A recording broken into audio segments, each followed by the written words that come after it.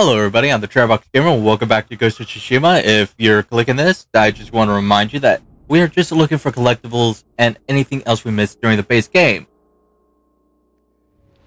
I don't think people need a reminder after all this time, but still nice to give them a little hint that this is just going to be a filler thing, like we're just finishing up. Now, the last episode, I kind of ended on talking about Fallout 76 and saying that the dude that I played with was pretty cool. Sally, I still don't remember his name, but point is, dude was cool, had a good time with Fallout 76 despite all the problems I had with the game. Now, recently, I've been playing it with a relative of mine because we figured, hey, we both want the platinum with this game. We might as well play together and help out, but as of recent, I've had a pause with that, mainly to finish this game up. Second, life kind of came around and I couldn't play with him as much. So yeah, we. I don't know. Oh, oh, whoa, whoa, whoa! No, no, no! We're not surviving that. You are not surviving that, little buddy. Like, you could survive a cliff. I could believe that, but you're not surviving this. Not for a long shot.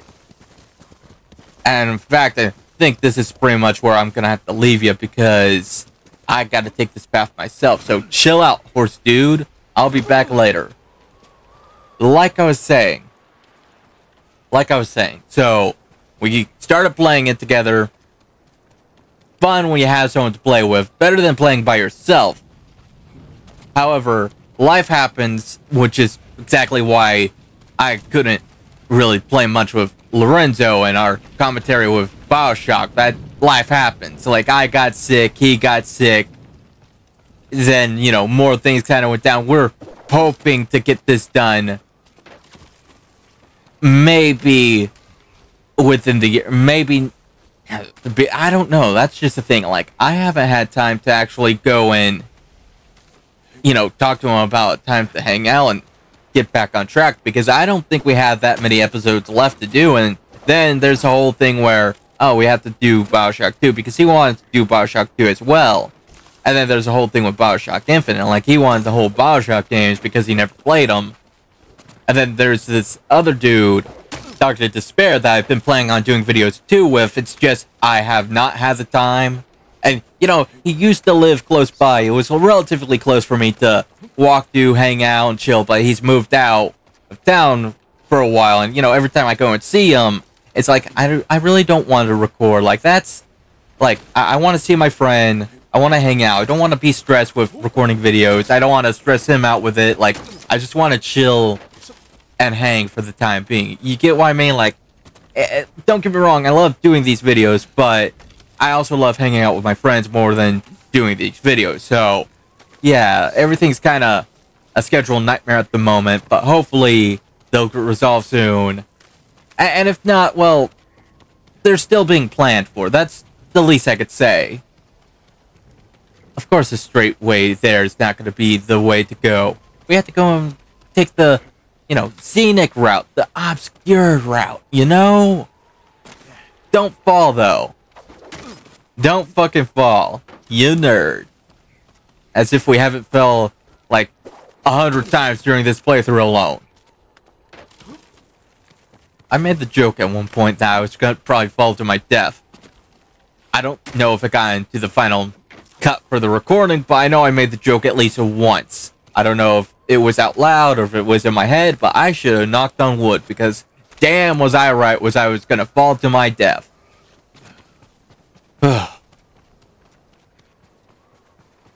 Roll thumb, never make jokes that kind of kick your own ass because chances are the universe would say, yeah, you make a joke about it, you make a light of the situation, you know what? I'm just gonna kick your own ass. So here, you're gonna fall to your death so many times, it's gonna stop being funny, Anthony. And I'm like, why? Why do you gotta be a bitch, universe? I didn't deserve it. I was making light of a bad situation, you know. Ah ha ha, I messed up situation. Why do you have to take it so far up the ass, man? And the universe said, You didn't knock on wood, bitch. You didn't knock on wood. Really? Yeah. That's all it takes. You didn't knock on wood, so I'm gonna make your life a living hell. Fall to your death again, asshole. Well, joke's on you. I didn't with this shrine, so fuck off. Go here next. So here's a little funny story. You know how I think it was episode 100. I said, "Oh, I found a way to get my videos to upload faster. The upload time is now shorter." Something funny happened. So I was using the handbrake tool to basically compress the video itself. But there was a little issue with the final result. So it kind of cut off the end screen that I have slightly. And while the rest of the video looked great, the end screen did not. And that kind of bothered me a bit. The funny thing is, I thought I had to go back and fix everything. You, you want to know what the problem was? the problem was is that all, all, I had to do was click the crop option and just put none. Just don't crop anything at all because it was set to automatic. I was like, oh, whoops. So I went back. I kind of fixed everything. So now everything's looking great from my end.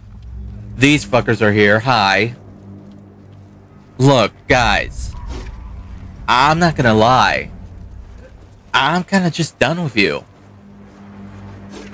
Like, I'm done with all of you assholes. I, I dealt with all of you. Uh, unless you're gonna pull out some new gimmick out of your asses, you're kind of boring. Just being honest with you dudes. Now, if you, I don't know, started fucking being more of a challenge, maybe I'd be more intimidated, but you're not. But, you know, I have to give you props on something. You're all persistent. How many enemies have just called it quits and left, even though everything is against it? Like, I gotta give you guys some credit as you die. Y'all are very persistent, and that's something I can at least respect. Find it annoying? Yeah. But respect nonetheless. So, we got that. We need this. Did I edit this part, or did I just leave it in? Hold on, because this part I usually just like edit to the point where you don't see anything. Again, I don't think anybody cares. But you know, oh. Damn. Sora, you are a brave companion, a good friend. Maybe I'll see you soon. Not gonna lie, when my horse fucking died, it hurt a lot more than my own best friend betraying my ass. Damn game. Really gotta do me dirty like that? Like, okay, I can handle everything. I can handle being hated by my, well, not really hated by my, but basically disowned by my uncle. I could handle my best friend betraying my ass, but did you have to kill my horse, dude? Like, all that shit like I could tank, but the horse, man. He was by my side since the beginning. That shit fucking hurts. Ah, oh, you sons of bitches. I think it's the worst is that it wasn't an enemy that really did it. It was somebody that was supposed to be allies that did it. It wasn't the Shogun assholes. You bitch. I don't even know who the hell did it. Yeah, you know, face-wise, name-wise. I don't know who the archer was. I don't know who did. I just know that was a fucking Shogun dudes. Or somebody. Like, it had to have been somebody there at the castle.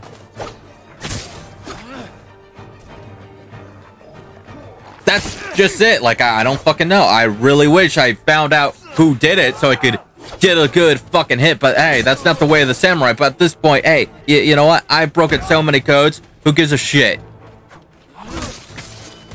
Again, I don't think I killed the dude. But I make sure that his fucking hand never worked again.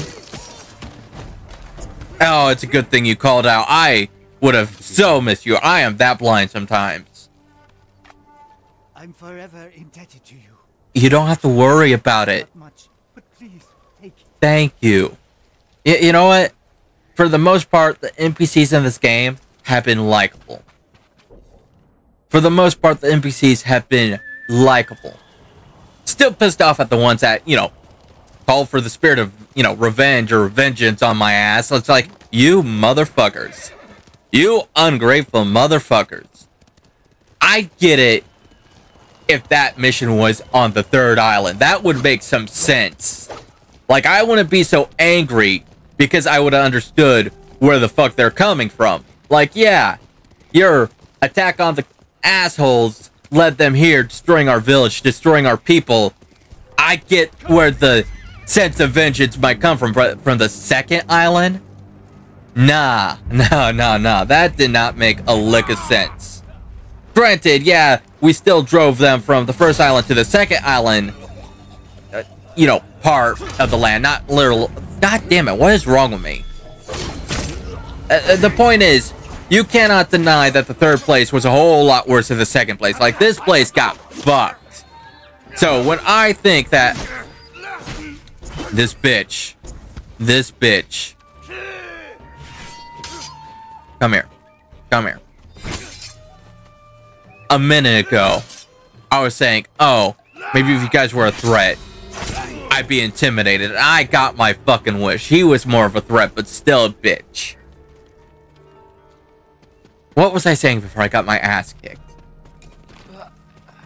Right. If it were placed on the third island, I get it and be less pissy about it. The second island, maybe they have some point, but at the same time, they didn't have to deal with all this shit. Like, third area got fucked. And I know I'm saying island. You get what I mean when I'm saying island. Part of the area, the third location that got unlocked. You get what I mean. I don't think I have to clarify. So, sorry if island's wrong. It's just... What the... Oh, you fuckers. Go away. I'm not dealing with you assholes. I'm following my fox friend. Following my fox friend. I don't have to deal with you. Fuck off. God, you know what? God damn it. If I lose this fox. That's one. Where the other bitches went off to. Oh, I killed one and they run away like a little pack of assholes. Fucking dickheads. I'm sorry, Fox, dude. I had to. I get the feeling that if I didn't, that if I followed you to the end, it would say, oh, you can't do this because you're being attacked or some bullshit like that. Just my guess. Oh, hi. I get to pet you. I love you. You're my little buddy. You're my little buddy. Have a happy life. Chill. Be a cool little dude. Take care. I love the foxes in this game. They're cute. They're adorable.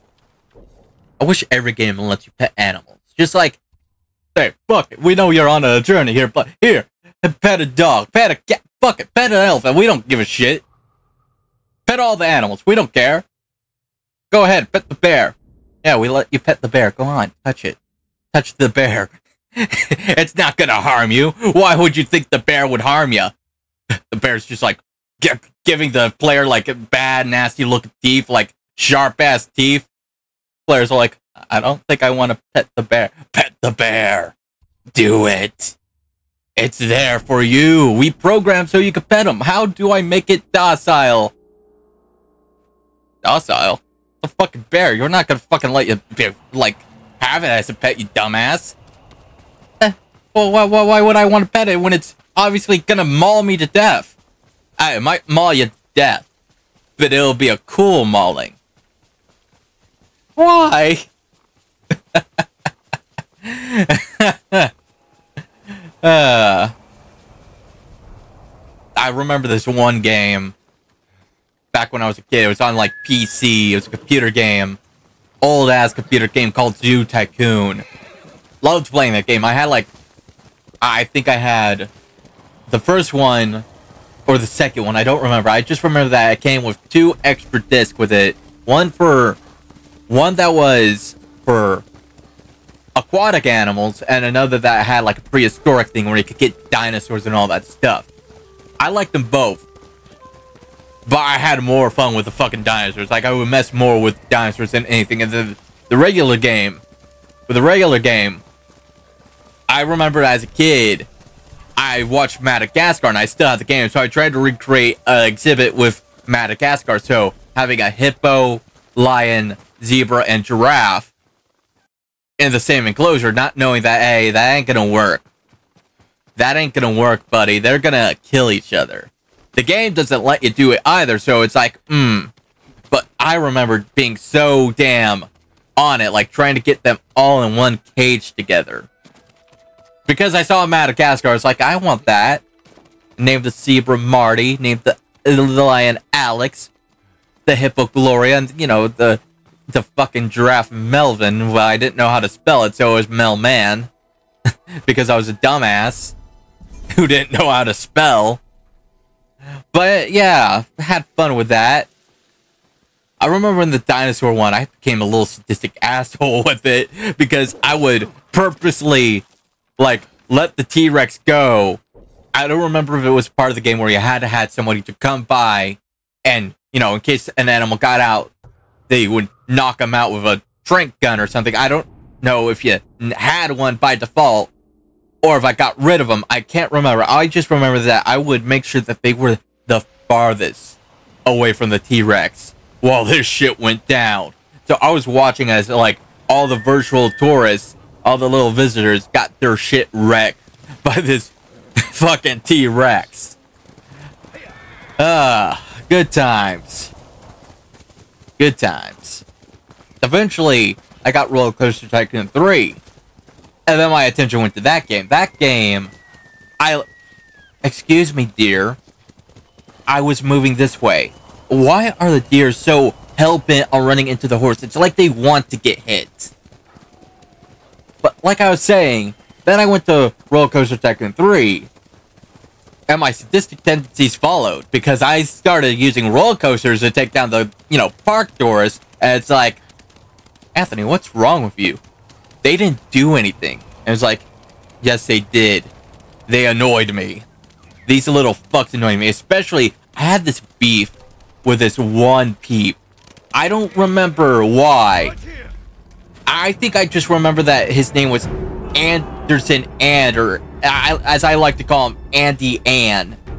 And I had the biggest beef with him. I think it's because maybe he complained, you bitch. You bitch.